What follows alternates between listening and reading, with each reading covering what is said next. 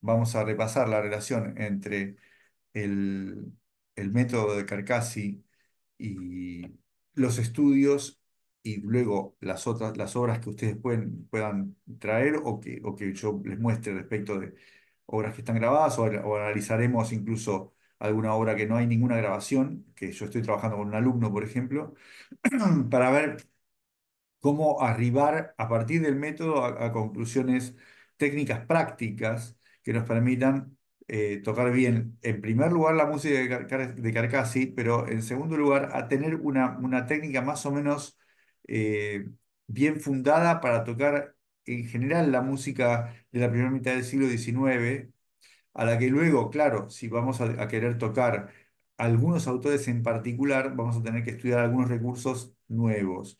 Por caso, eh, Sor o Giuliani o Aguado, que vamos a tener para algunos, algunas cosas tenemos que recurrir a, si queremos tocar eh, la música de estos autores, recurrir a las soluciones que ellos pensaron para sus propias obras. Pero por lo menos lo vamos a hacer a partir de tener una, eh, una técnica bien fundada este, a partir de, de- de pilares bi- bien, bien claros respecto de cómo utilizar las manos para tocar la música de la primera mitad del siglo XIX. Y esta, esta técnica, digamos, la podemos ver, yo insisto sobre esto con respecto al método de Carcassi, porque el método de Carcassi es el que es más, eh, a mi manera de ver, tiene la virtud de ser eh, muy ordenado en, la exposición de los contenidos, muy bien gradual eh, y ordenado, al mismo tiempo muy claro en la exposición de los conceptos que, que, tienen que ordenar a la cabeza para, para luego hacer ordenar las manos eh, esos conceptos él los expone de una manera muy, pero muy clara. Y a mi juicio, hay muy pocas cosas que eh, Carcassi deja, eh, deja sin, sin mencionar eh, en, en- en su método, cosa que, que es un problema,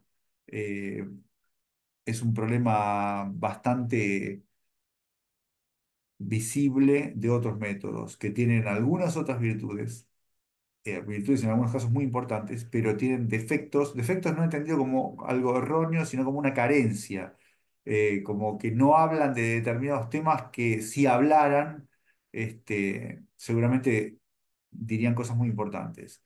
Eh, y miren que hay muchos métodos del siglo XIX, muchísimos. Aprovecho esta, antes de entrar en esa cuestión para saludar a los que recién ingresaron eh, y a pedirles que si no anotaron su nombre y DNI, que lo hagan ahora. Eh, cuando me refiero a, a muchos métodos, es que verdaderamente hay eh, publicados, yo les podría decir entre fin del siglo XVIII, o sea, entre más o menos 1770, 80, eh, en donde se publican métodos en Francia, métodos de guitarra de cinco órdenes, o, dobles o simples, pero que son muy buenos. Hay métodos realmente muy buenos y muy exhaustivos, publicados antes de, de, de 1800 este, o por- a 1801, hay un método, por ejemplo, de Doisy, Doisy se escribe, que es un método súper exhaustivo y completo e interesante. Método de Gatailles, por ejemplo, que era otro gran guitarrista francés de la generación anterior a Carulli, que han publicado métodos muy, muy buenos y que son en algunos casos muy exhaustivos. Pero eh, si bien hay unos cuantos métodos publicados antes del de Carulli, eh, la verdadera explosión eh, de la de popularidad de la guitarra de seis cuerdas se produce a partir de la publicación, después de la publicación del método de Carulli. Yo no diría que Carulli es responsable de esa e- explosión, diría que hay todo un proceso eh, social, económico eh, y de adaptación de este instrumento al nuevo gusto musical de la guitarra de seis cuerdas, al nuevo gusto musical que emerge eh, a partir sobre todo de la difusión de la música italiana, de la ópera italiana este, Rossini y demás,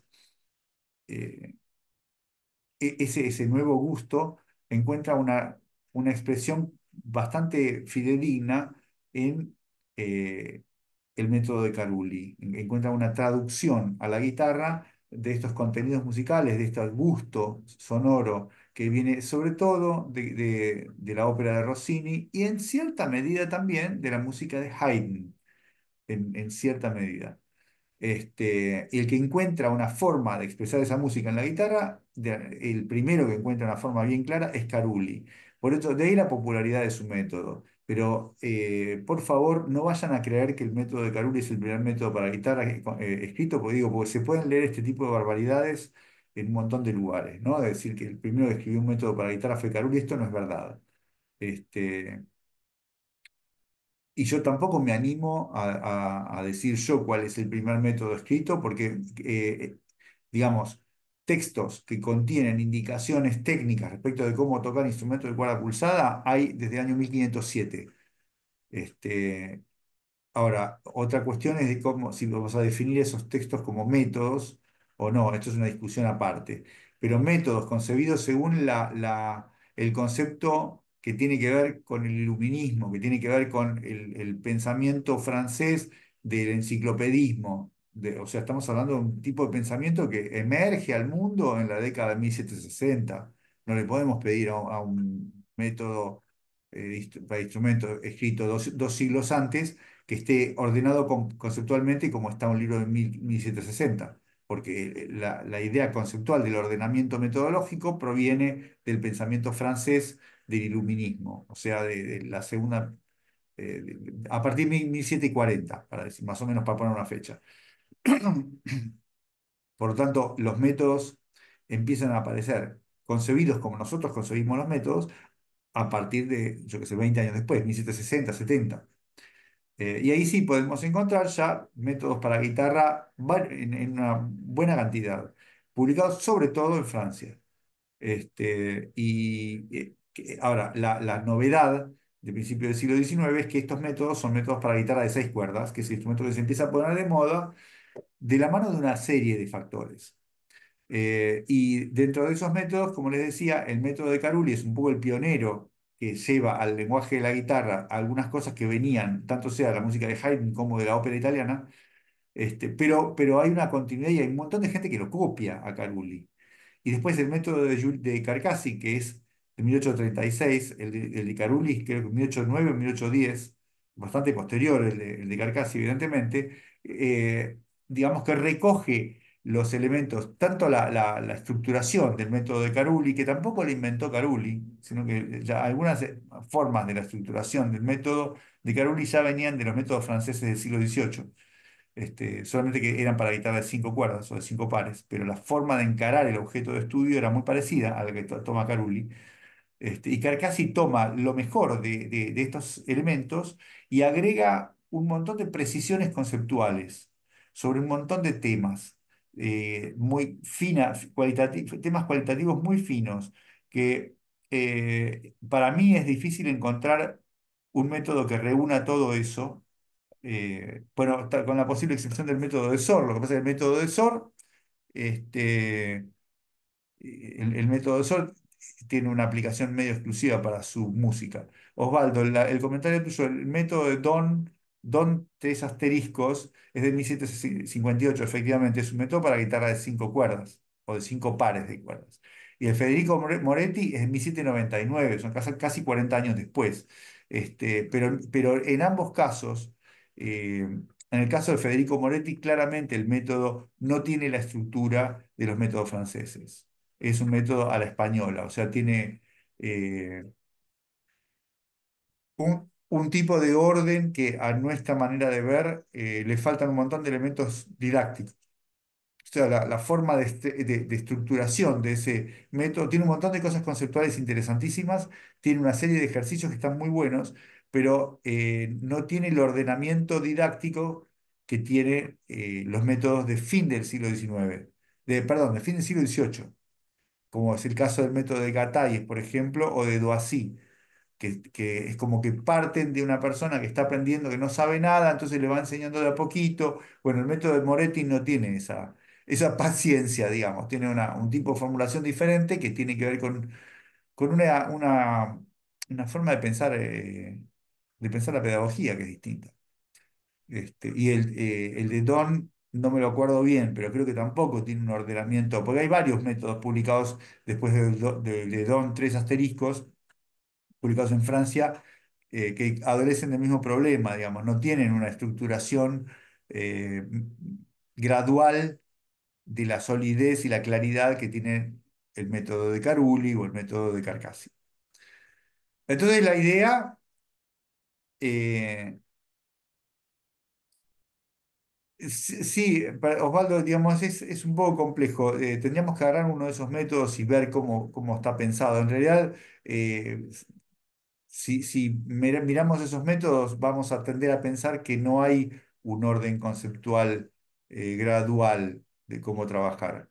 Eh, a, mí se me escapa, ¿no? Yo la verdad no sé muy bien en qué tipo de estudiante están pensando. Y sucede lo mismo con los, los- los escritos técnicos que están en los libros anteriores, ¿no? O sea, en los libros me refiero desde El Maestro de Luis Milán eh, a eh, Variety of Flute Lessons, el libro que publicó Robert Dowland, el hijo de John Dowland a eh, las instrucciones de Alessandro Piccinini, de su libro, que son, es increíble, es lo que los estoy mencionando son todos textos que tienen un gran valor, pero no son, no están pensados para gente que está empezando a estudiar, no, no tienen ese objetivo.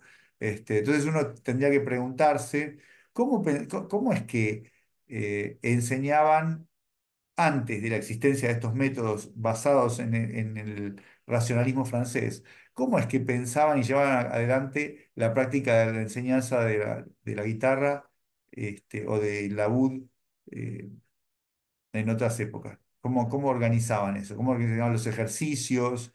Eh, porque no están en los libros ni en el de Federico Moretti, ni en el de Don, eh, Don Tres Asteriscos, ni en el de eh, Corret, ni, qué sé yo, hay un montón de métodos publicados antes del de Caruli. Antes del de Doisy, si ustedes quieren, que el de Doisy es 1500 1801, creo, y ya está bastante ordenado como nosotros nos gustaría pensar en un ordenamiento pedagógico. Entonces yo no sé eh, cómo, cómo armaban la educación musical. Uno tendría a pensar que era una eh, cosa que se armaba a partir de la relación entre el maestro y el alumno, y el maestro le daba ejercicios y se los escribía en un manuscrito, en un cuadernito, entonces no están publicados. No, no se me ocurre pensar otra forma, o se los pasaba de memoria. No lo sé.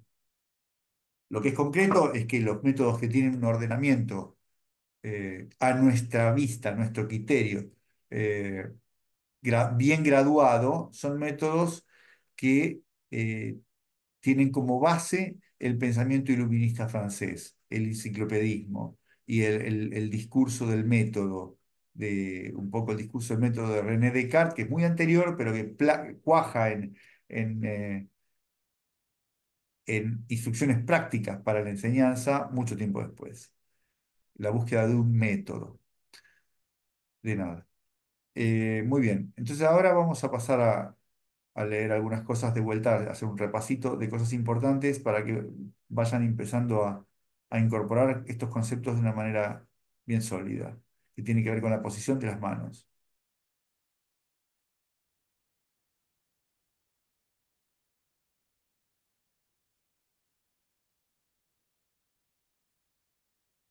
y con, y con las elecciones que, que uno hace de las digitaciones, con cómo usar los dedos. Entonces me voy de vuelta a esta eh, edición que yo no conocía, del, que la encontré buscando material para este, para este curso.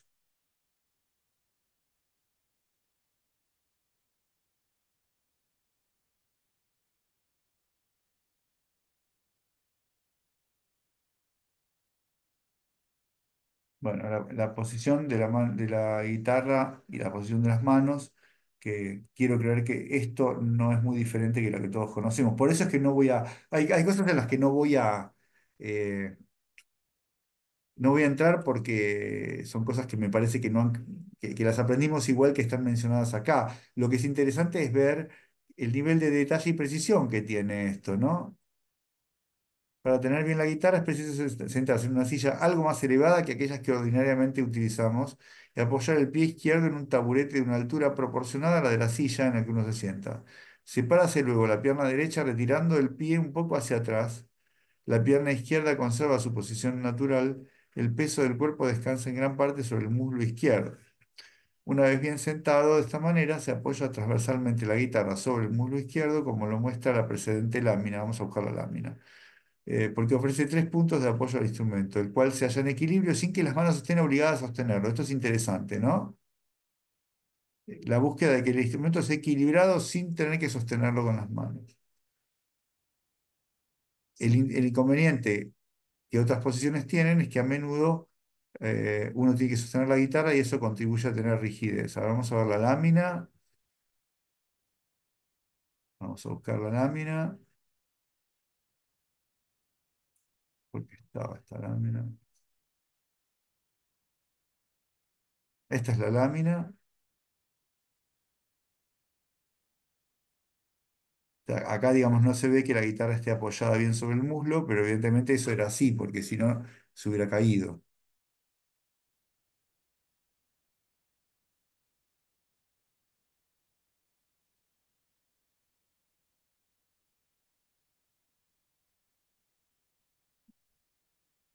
Bueno, seguimos con la parte conceptual.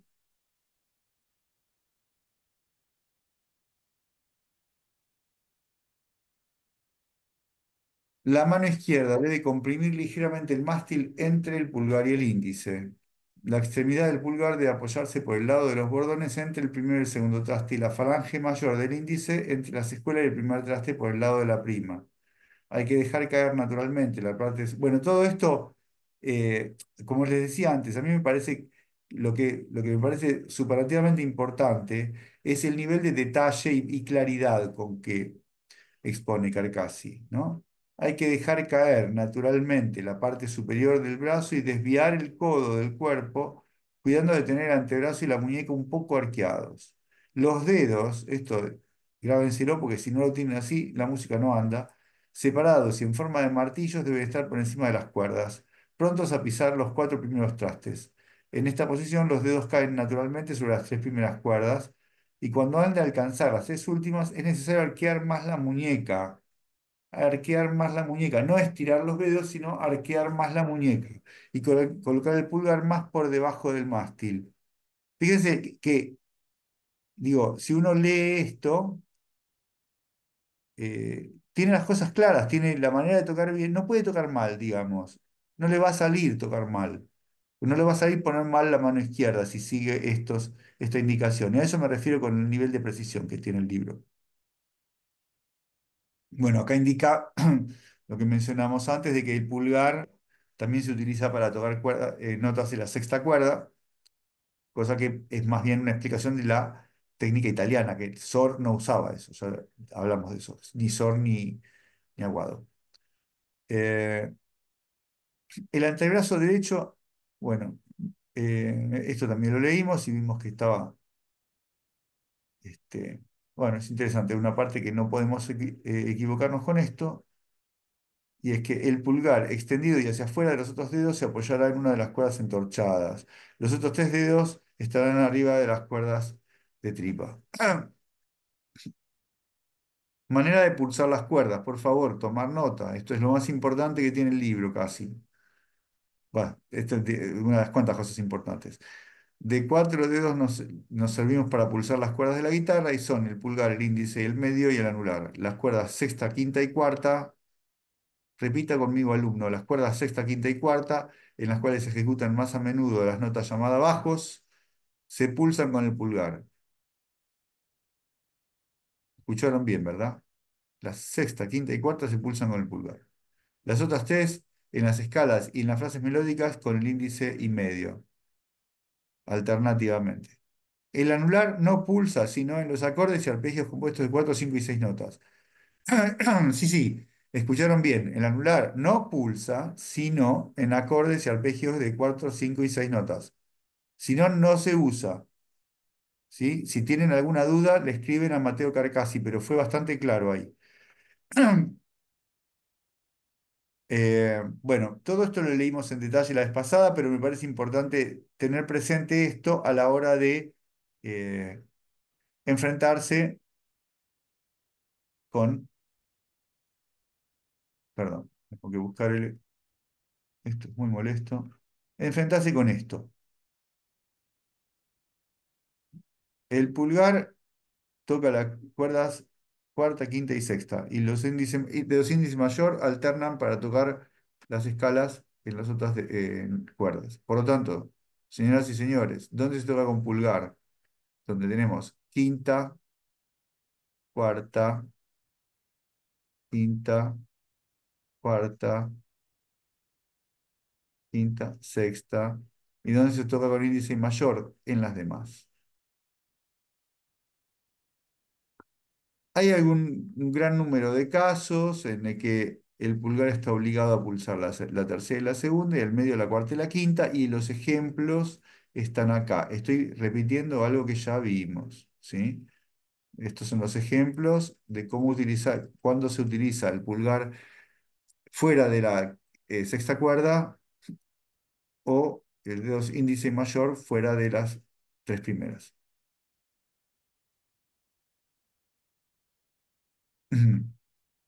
Si voy muy rápido, me avisan, por favor. Yo simplemente estoy repasando ahora, pero igual, si, hace falta que vaya más lento, me lo me dicen, ¿ok?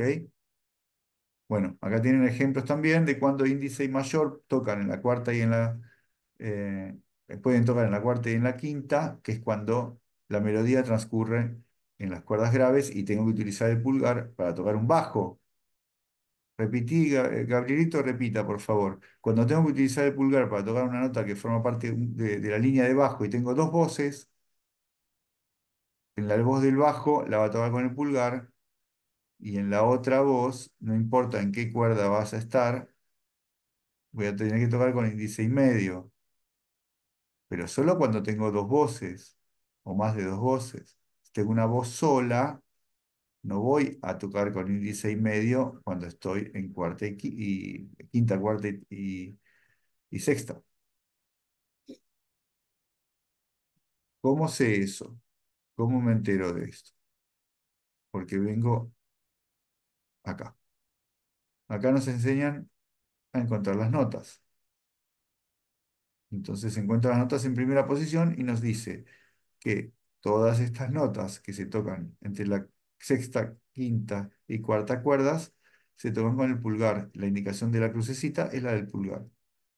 Y las que están en las tres primeras cuerdas, que tienen un puntito y dos puntitos, es porque se tocan con índice, que es un puntito, y medio, que es dos puntitos. Entonces, como, como Carcassi nos estaba hablando muy en serio cuando nos decía que tengo que tocar con el pulgar en las tres cuerdas graves, esta serie de ejercicios, que están todos digitados, consisten en el entrenamiento de esa técnica. Ahora incorporo las- los sostenidos, o sea, para completar la escala cromática en la primera posición, y voy a hacer ejercicios ya con todas las notas de la escala cromática es ejercicios cromáticos utilizando la misma técnica, educando mi criterio y mi mano derecha para entender que cuando toco en las cuerdas cuarta, quinta y sexta, toco con el pulgar, aún en música melódica, siempre y cuando tenga una sola voz.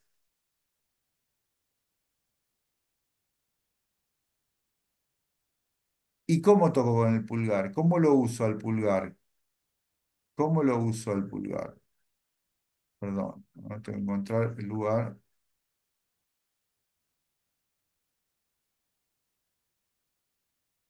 Tendría que haber fijado la página. No, es después. ¿Cómo utilizo el pulgar?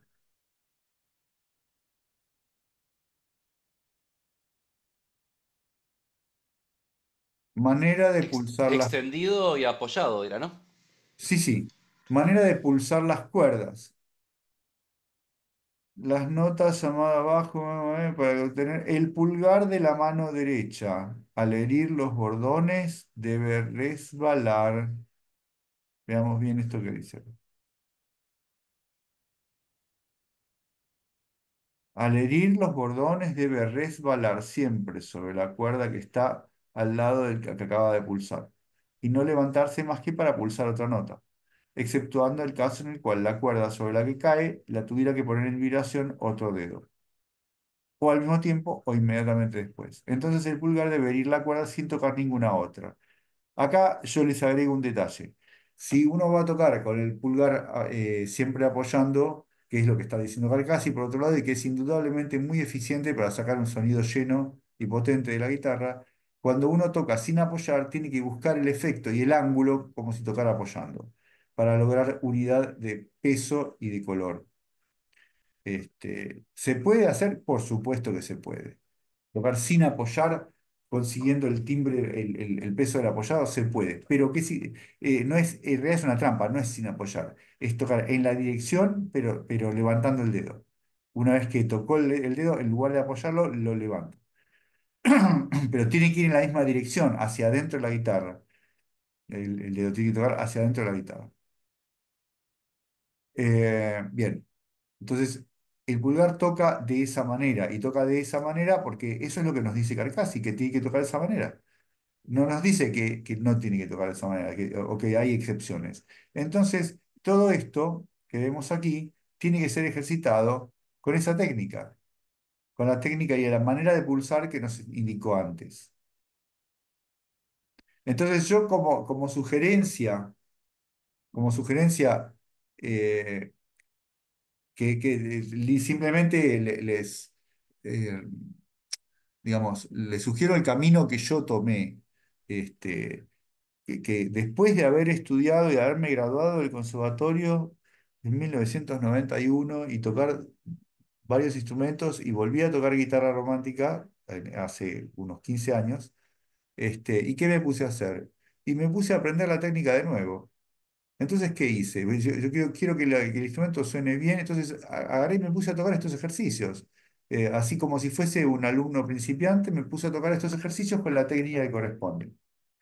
Eh, y, y cada vez que toco la guitarra romántica, hago, este- o sea, cuando tengo un programa que tengo que tocar el concierto, qué sé yo, grabaciones de, guitarra romántica, me- para ponerme en condiciones con la técnica, ¿qué hago? Toco estos ejercicios y toco los- lo que sigue, digamos, los, los ejercicios que, que, que propone Carcassi para el adiestramiento, el adiestramiento técnico, que lo vamos a ver un poquito después.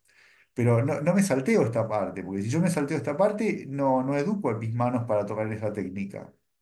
Este, Así que bueno, es una sugerencia. No, se- no, no consideren que esto es para principiantes. Eh, o sea, por más que está concebido para principiantes, como nosotros tenemos otra otra educación musical guitarrística, tenemos que tomarnos como que es para nosotros también.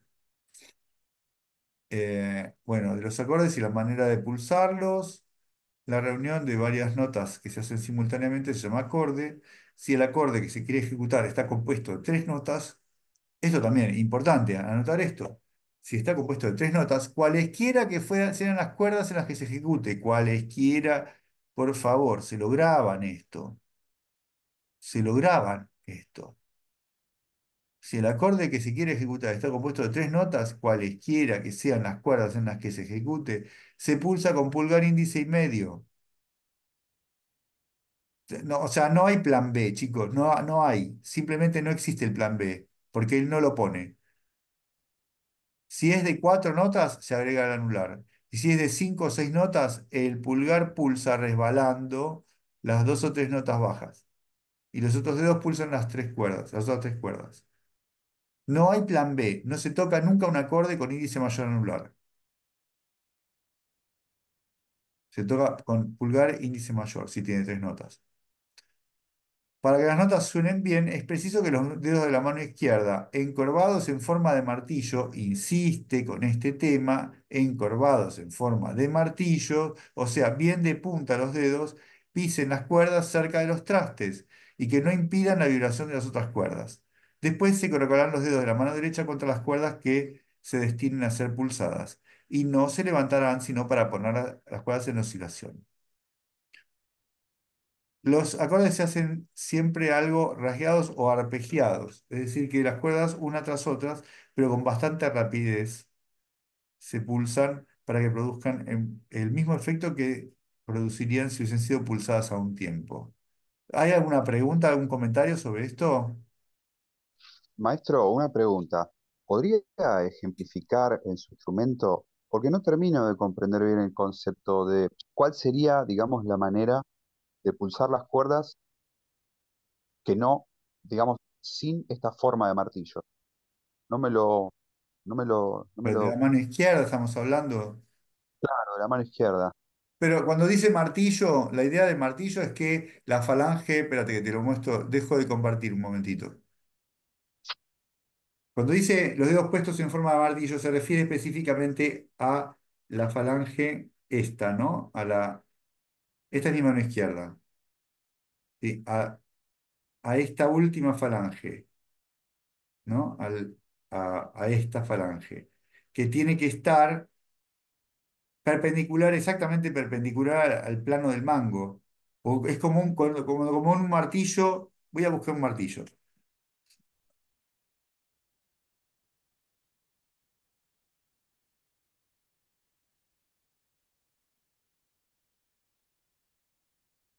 Este martillo, acá en casa le hemos puesto de nombre diálogo, porque todo se resuelve con diálogo. Este, bueno, si uno va a martillar sobre un clavo, va a martillar, si este es el clavo, imaginen que mi dedo es el clavo, ¿no? Va a martillar en forma perpendicular, no va a martillar así. O sea, si esta es una superficie y tengo que clavar un clavo, tengo que ir con el, el martillo, a ver qué, eh, ahí está, en forma totalmente perpendicular al- a la superficie, ¿correcto? Bueno, del mismo modo, ahora la superficie es esta mano, los dedos de la mano izquierda tienen que ir eh, de manera exactamente perpendicular. La falange que va a contactar el plano del mango tiene que estar absolutamente perpendicular. O sea que los dedos puestos así no funcionan. A esto se refiere la insistencia de Carcassi, que uno no puede ponerlo, la- la- el, el apoyo del, de, imaginen que este es el mango de la guitarra. El, apoyo de los dedos sobre el mango de la guitarra, de los dedos de mano izquierda, no puede ser este y tiene que ser este, tiene que estar perpendicular al plano del mango. ¿Sí? ¿Se entiende? No sé si Perfecto. está bien. Perdón, Este, maestro. sí. Este, sí, yo pienso que también cuan- cuando, el alumno es principiante suele falangear un poco, no, no suele ponerlos como tanto como martillo a los dedos. Por eso debe ser también la indicación, la insistencia en la indicación, ¿A, porque a qué le llaman como... falangear? eh, perdón, este, si puedo un segundo. eh, Sí, sí, bueno, sí, quería, la. Sí, sí, sí, quería activar la, la cámara, pero está medio, medio lenta la... Perdón. Sí, Suele hacerlo más así, no, no tan así, sino que suele ponerlos por Ah, ahí eso, ok. Claro, Eh, yo creo que debe ser eh, esa la cuestión con, con Exactamente. la insistencia, ¿no? Exactamente. Es para insistir en que esa, eh, no hay una manera de hacer funcionar bien la, la mano izquierda como no sea co- colocando los dedos de manera absolutamente perpendicular al mango. O sea, como si fuera martillar sobre un plano. A eso se refiere. Eh, e insiste porque, bueno, esto supongo que todos ustedes lo habrán comprobado, que, que cuando hay un pasaje que no sale bien, sea en un principiante o en uno, mi- uno mismo, eh, hay un pasaje que no le sale limpio, o le sale, el sonido no sale suficientemente concentrado, es porque o bien los dedos no están de punta o bien no están pegados a los trastes. Y, eh, tanto sea, y él habla de las dos cosas además, porque en el método que vuelvo a compartir en este momento, eh, nos dice que los dedos de la mano izquierda tienen que estar encorvados en forma de martillos y que pisar las cuerdas cerca de los trastes. O sea, por eso cu- cuando les digo de estas observaciones que eh, seguramente que para ustedes no son nuevas, acá las estamos viendo escritas con absoluta claridad en un método de 1836, con claridad e insistencia, y te dice, si vos, si vos no haces esto, no te va a sonar bien. O sea, esa observación que uno la puede decir de la experiencia, digamos, eh, está volcada con total claridad en el método. No falta. Cuando digo que es exhaustivo y claro, es que este tipo de aclaraciones que, eh, que son necesarias, son, digamos, son imprescindibles para, para hacérselas a los estudiantes, este, no, no las da por sentado están presentes en el método. Entonces, Y acá viene, eh, voy a, voy a cerrar este zoom y sigo con, porque me parece importante un detalle que hay que tener en cuenta de este método y de los métodos en general del siglo XIX. Cierro este zoom y arrancamos de vuelta con eso.